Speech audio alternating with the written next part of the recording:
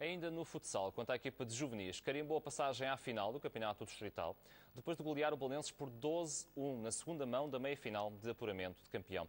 Este fim de semana joga-se já a final do Campeonato Distrital de Juvenis, que é decidida a melhor três jogos, com o primeiro a ser na Luz, no sábado, e o segundo jogo no domingo, às duas e meia da tarde, em Loures.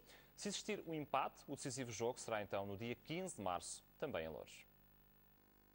A equipa de juvenis está na final do campeonato distrital, depois de vencer as duas mãos da meia-final de apuramento de campeão.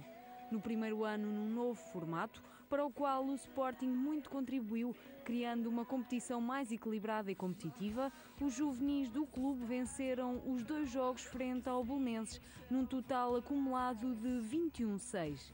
O primeiro jogo foi no sábado passado, no pavilhão Acácio Rosa, no Restelo, e os Leões venceram por 9-5, um jogo de sentido único na primeira parte, com o resultado a fixar-se em 4-1, com golos de Vítor, João Alexandre e Afonso. Já no segundo tempo, os Leões voltaram a entrar fortes e chegaram ao resultado final com golos de Mamadou, Gonçalo, Dani e Felipe que se estreou a marcar com a camisola dos Leões. Um jogo que poderia ter sido mais bem conseguido no processo defensivo, mas que levou os Leões a melhorar para o segundo jogo.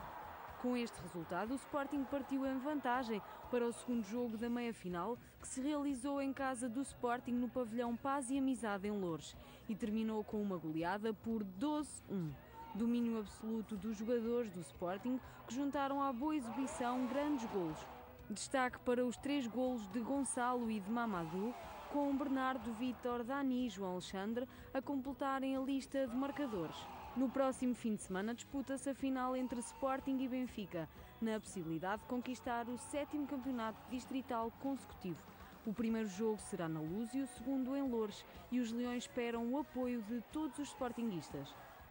A equipa de juvenis eh, no futsal espera desse apoio para carimbar este título está apenas à distância eh, de uma final à melhor de três.